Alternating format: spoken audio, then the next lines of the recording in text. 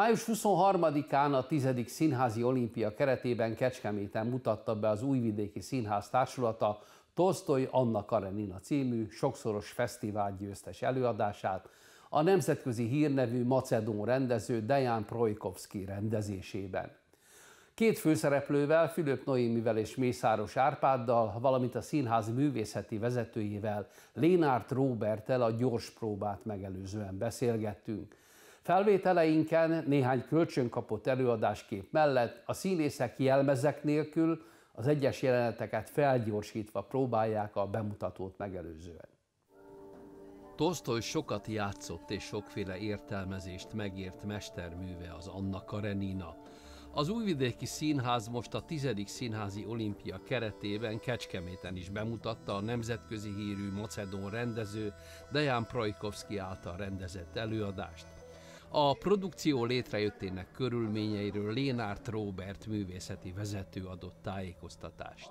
Mi hívtuk először Szerbiában, ami nem azt jelenti, hogy a Balkán ő már nem volt szupersztár. Tehát, hogy, hogy azért a Macedon Színházban hát egy, egy Vidnyánszki formátumú figura, tehát hogy ugyanabban a tehát arra gondolok, hogy, hogy volt a Nemzeti Színház igazgatója is igen fiatalon, tehát, hogy ő egy ilyen nagy karriert befutott ember, akivel így megismerkedtünk, azt hiszem, hogy a Skopje egy török színház kapcsán ott láttuk egy előadását, egy kiváló otellót, és utána elmentünk, megnéztük még a Montenegróban a Nemzeti egy előadását, az is nagyon-nagyon jó volt, és azután hívtuk el. Projkovski rendezői stílusának nagyon is megfelelt az újvidéki színházban uralkodó, a művészi szabadságot abszolút tiszteletben tartó szemlélet. Mi szerintem az újvidéki színház erre egy nagyon jó platform, mert nem szeretjük nyesegetni a rendezők szárnyait. Tehát, hogy nem, nem az a színház vagyunk, ahol nem tudom én, lejár az igazgató, meg a művészeti vezető, és rászól a rendező, hogy ezt azért nem kéne. Ezért is szeretnek nálunk dolgozni. A másik, amiért szeretnek nálunk dolgozni, vagy talán ez a második a, a fontosabb, az a gárda. Tehát ez a színészek, akiket ma este látni fognak, és azt hiszem, hogy önmagukban is elég meggyőzőek lesznek magyarázatul. Kis barátom, szeretlek. Ő jobb és külön nálam, és én védkeztem ellene. A nagy leszel meg megért. Nálam nincs jobb.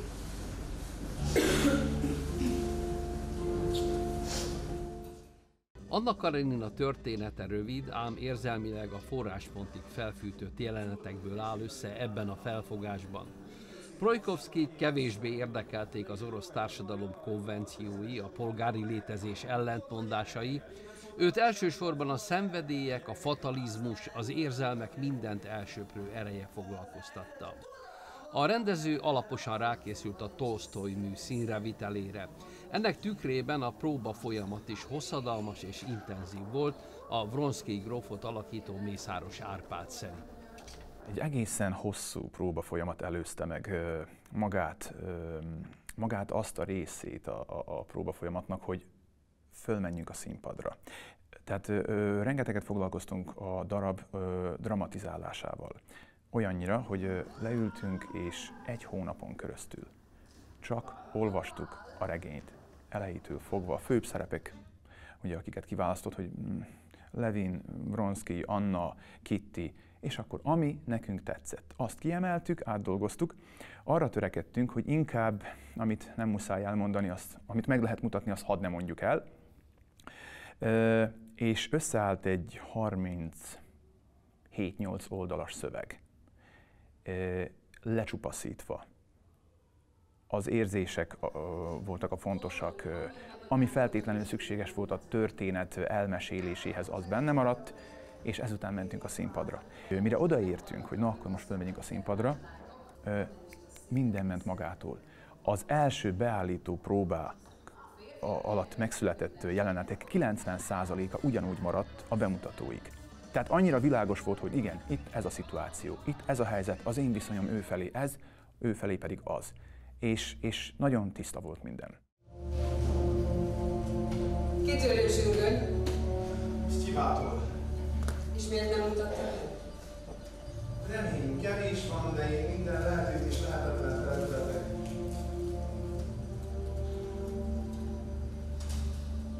Projkovski változatában fontos szerepet kapott a túlfűtött erotika, a romantika valójában a szexualitás felé billent el.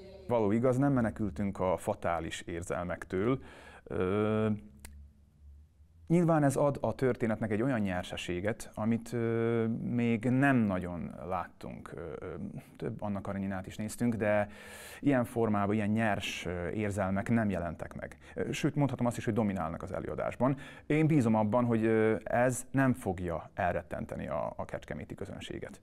Mészáros Árpád számos alkalommal kapott fontos elismeréseket Vronszki gróf erőteljes megformálásáért. Amikor elolvassuk akkor azt mondjuk, hogy hát ez egy, ez egy, ilyen, ez egy ilyen szép fiú, egy, egy playboy, egy elkényeztetett uh, gróf. Hát mitől tud érdekes lenni? Jó, nézzük azt, hogy de mi az, ami, ami hogyan viselkedik ő, amikor egyedül van? Um, mennyire deviáns? Uh, mire képes? Meddig képes elmenni a nő szerelméért?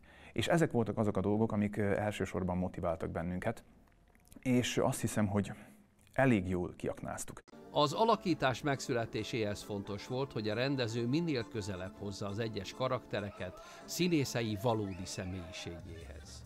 Ez kellett a rendező, aki, és ezt második macedón rendező, akivel dolgozok az életemben, és azt tudom mondani, hogy, hogy mintha tanítanák őket arra, hogy hogyan bánjanak a színésszel. Pontosan tudják azt, ezt mindig elmondom mindegyik interjúmban. Pontosan tudják azt, hogy mely határig szabad elmenni, meddig szabad feszíteni a húrt. Ne csináltassanak velünk színészekkel olyasmit, ami nekünk nem kedvünkre való. Például én nem nagyon szeretek színpadon nevetni. Megtudták ezt, akkor nem, nem csináljuk úgy, hanem majd másképp. Jó, nézzünk egy más variációt.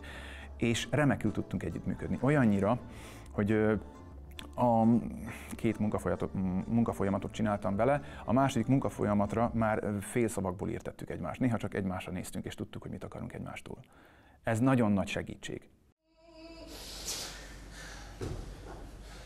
Semmiség. Csak a magányos élet, meg az idegeim. Mi történt a lóversenyen? Az eredeti szereposztásban a címszerepet Béres Márta játszotta, aki anyai örömök miatt kivált a produkcióból. A helyét a Szabadkai Kosztolányi Dezső Színháztól érkező Fülöp Tímea vette át, akinek viszont hiányzott az alapos és hosszú előkészület, amelyről Mészáros Árpád beszélt. Belezuhantam ebbe a szerepbe, ugyanis másfél napom volt próbálni, tehát így tudták összehozni, és hát hál' Istennek előre megkaptam ugye a, a, a videófelvételt és, és a szöveget, tehát valamilyen szinten be tudtam gyakorolni, és Mártával, a kolléginával is, akitől átvettem a szerepet, beszéltem pár szót erről az egészről, majd aztán két próbával beugrottam ebbe az egészbe. Ilyenkor muszáj lemásolnia mindazt, amit a kolléganőtől lát, vagy azért szabad a saját személyiségére adaptálnia? Szerencsém volt, hiszen igazából a rendező is azt kérte, hogy abszolút a saját személyiségemhez alakítsam ezt az Anna Karenyinát, ugyanis a való életben is teljesen mások vagyunk, teljesen más karakter vagyunk. A színésznő könnyen hangot talált a rendezővel, a saját tempójában, a maga személyiségéből építhette fel Anna Karenina figuráját. Nagyon jó érzés volt vele dolgozni, még ilyen kevés ideig is mert azt mondta, hogy természetesen, hogy nyugodtan úgy csináljam, ahogy nekem felel meg, és igazából a, a videófelvétel is sajnos a fényviszonyok miatt nem látszódott jól a színészek játéka, ezért így nagyjából csak azt tudtam belőni, hogy merre mennek, mert a lábaikat láttam, járás. igen, a járást, és, és nagyon jó volt, ugye a, a Dejan azt mondta, hogy, hogy nyugodtan, lassan, hagyjak magamnak időt, annyit, amennyire szükségem van, és hogy bármilyen jelenetben, ameddig nem születik meg bennem az érzés, addig, addig nem menjek tovább. Tehát, hogy így hagyjam, hagyjam folyni. az eldöntését és örömmel, és örömmel látjuk, hogy az én kívánságom megegyezik a magáéval. A kicsi sír azt mondják a damájának kevés. Könyörögtem, hogy én szoktassam. Nem engedte, és most szemrehányást tesz. Nem teszek szemrehányást. Istenem, miért is nem adom meg?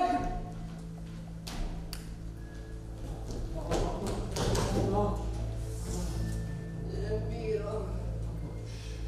Asszonyok még a bűneikért is szeretik meg férfiakat is. Ezt az előadást emlegetik úgy is, mint a Hamlet női változatát. Anna dilemmája épp oly eldönthetetlen, mint Hamleté. Két embert szeret igazán, a gyermekét és a szeretőjét, Fronskit, de a társadalmi viszonyok teljességgel kizárják, hogy egyszerre dönthessen mindkettőjük mellett. Most, ahogy így kimondta, abszolút, de soha nem, nem gondol, gondoltam erre így, inkább, inkább a való élettel hoztam mindig egy síkra ezt az Anna Kareninát, mert nagyon sokszor elmondtam azt, hogy, tehát, hogy igazából mindannyian Anna Kareninák vagyunk, és Tolstoy ezt csodálatosan megírta csak mindenkinek más a tragédiája és más a vége a, a történetnek. Fülöp Tímea indokoltnak találja az előadásban a felnagyított, időnként nyers szexualitásba átcsapó érzelmeket. Minden embernek a saját érzelmei, a saját problémái, a saját élete a legfontosabb, a, mindenkinek a saját problémája a legnagyobb, a saját érzelme a legnagyobb, legfájdalmasabb, a leggyönyörűbb, a legcsodálatosabb, a legszerelmesebb természetesen, és ezt mindenki úgy alakítja maga életében, ahogy gondolja és érzi. Most ezt meg lehet csinálni talán egy kicsit vérszegényebben is, de meg lehet csinálni kicsit erőteljesebben is. És ez igen, érzelmileg így erőteljes. Projkovski Anna Kareninája Szerbia egyik leglátogatottabb és legtöbbször díjazott produkciója lett, amely több tucat elismerést szerzett alkotóinak. A tizedik színházi olimpia keretében bemutatott európai hírű megrázó erejű alkotást a kecskeméti közönség is osztatlan elismeréssel és lelkesedéssel fogadta. A kérdés az, tudsz-e tovább élni a férjeddel? fejjel lefelé zuhanok egy szakadékba, de nem szabad magam megmentenem. Vagy elkapunk is fölemelünk. Én semmit nem kívánok. Csak hogy minden